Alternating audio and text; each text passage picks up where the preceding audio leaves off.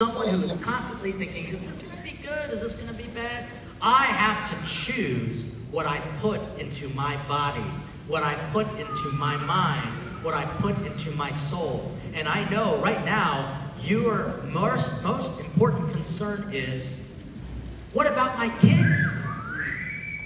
What about my kids? Because my kids don't seem to even care about the Catholic Church anymore. I mean, honestly, there are some people who aren't even paying attention to what I'm saying. Because they choose to think that I, as a priest, have nothing to say. And you know what?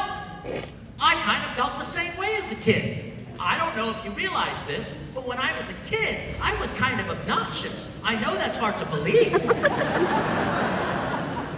I didn't like going to church. Anyone here think that church is boring?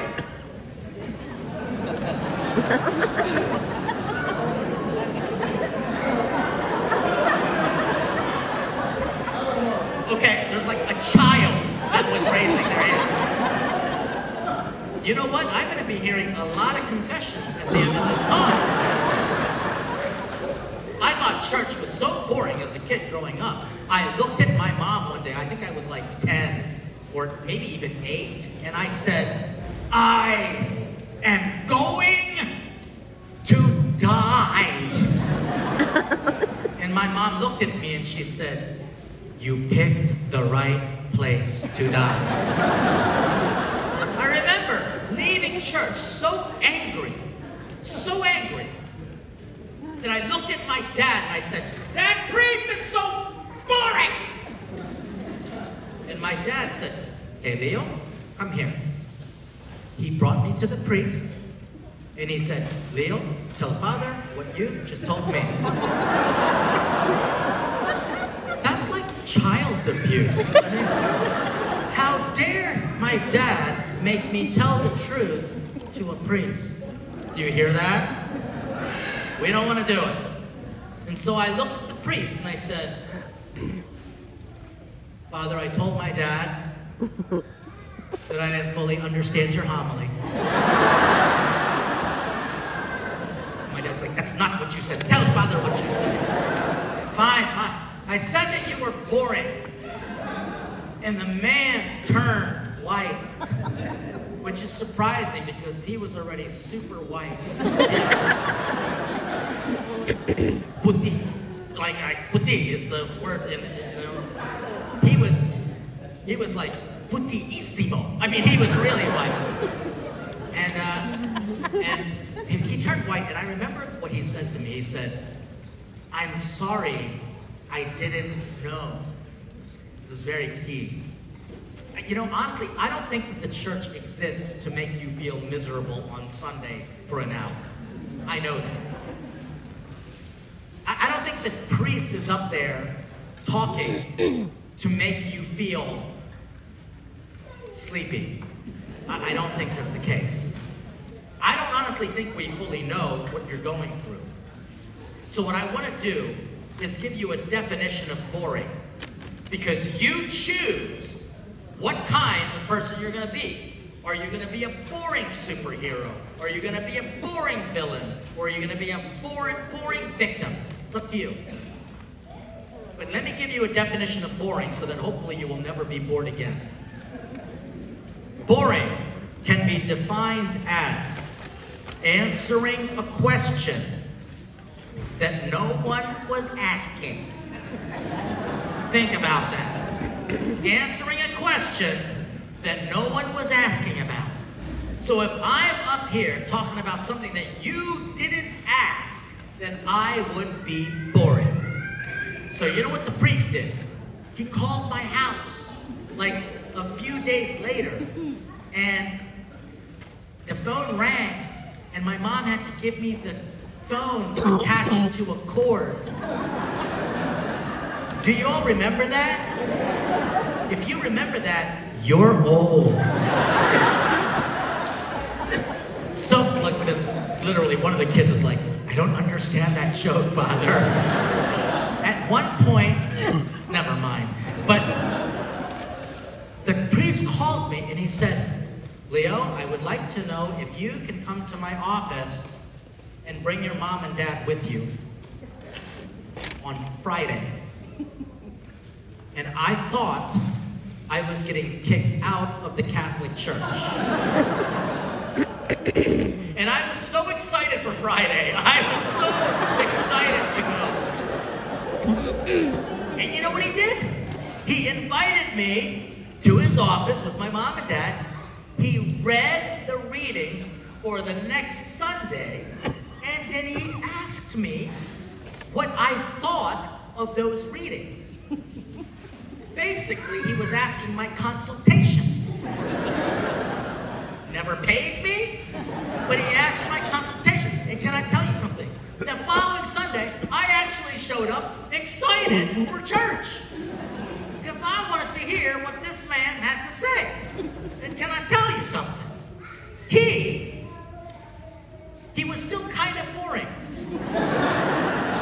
Simply because not everyone can like, you know, great orators.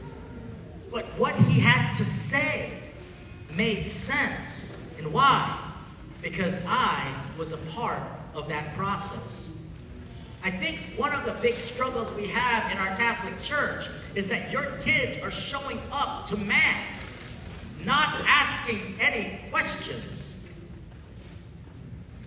You know, I told the story last night that a mother came up to me and she said, Father Leo, my kid don't get nothing out of Catholic Church, and they don't eat broccoli. Which was very serious, so I asked her, how do you prepare your broccoli? And when she explained, as I said last night, the woman boiled her broccoli. I know, makes the whole house smell like fart. I said it. I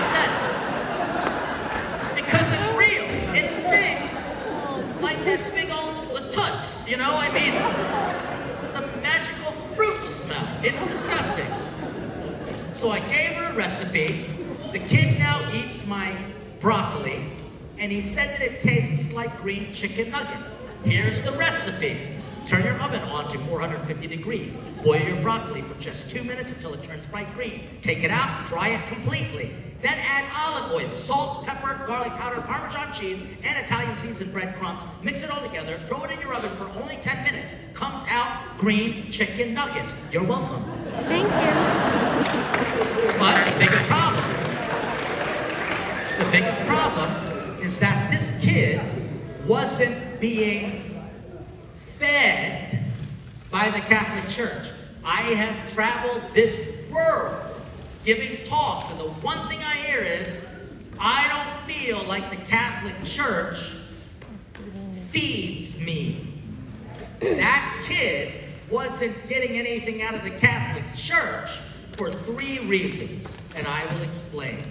One, I will admit, as priests, as church, we gotta do a better job of feeding our kids the big, deep of the church.